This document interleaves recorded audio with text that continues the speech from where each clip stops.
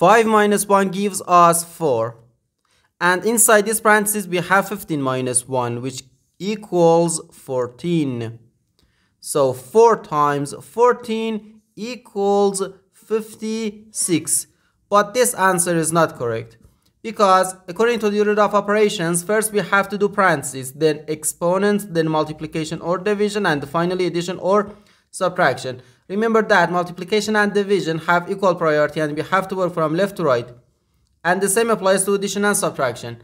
In this expression we have one subtraction one multiplication and one parenthesis. Inside this parenthesis we have one subtraction.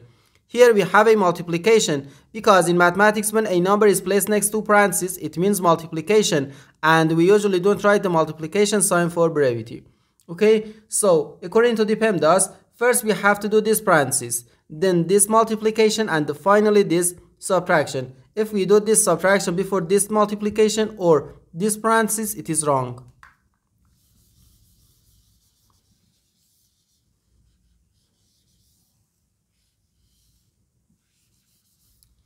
So first this parenthesis. Inside this parenthesis we have 15 minus 1 which equals 14.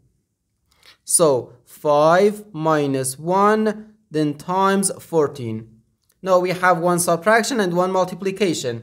According to the PEMDAS, multiplication has higher priority than subtraction because multiplication comes before subtraction.